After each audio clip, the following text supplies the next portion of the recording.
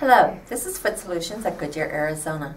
I'm going to demonstrate the casting of a custom arch support. So stay tuned, you'll get a 15% coupon.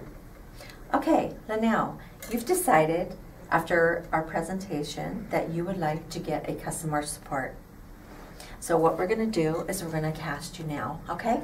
Hi. Okay, this is a full weight bearing, non-weight bearing arch support. So you're sitting and not standing. Because if you stand, your foot would be in the collapsed state. So we want your foot to be free so we can capture your full natural arch. Okay, so I want you to sit so your feet are flat on the floor. That's perfect. We already rolled your pant legs up. So I'm going to move the left foot over and I'm going to start with the, the right foot.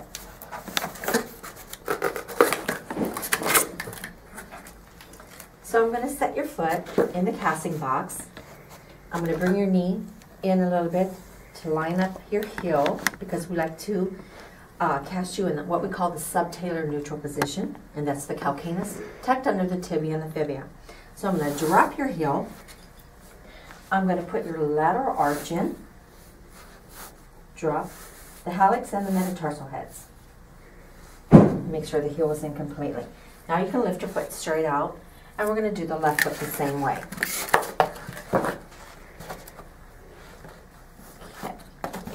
Okay. You up a little better. Bring this in. Now, as you're a supinator, that means you roll out. Your foot tends to roll to the outside, so I need to make sure I have you in alignment. We'll put this leg over that way a little bit further. Bring your heel in. Make sure the talus bone is straight.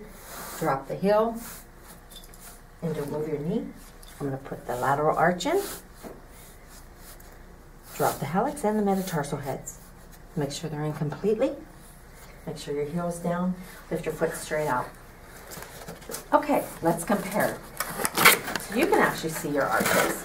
See how high your arches are and the length of your arch. This one's a little shorter, this is a little longer. And that's the reason you need a custom arch support rather than something manufactured over the counter. So what we do now is we send this to the lab. It takes about 10 days for it to come back. And when it comes back, I'll call you and then we'll fit you. All right. Thank, Thank you. you.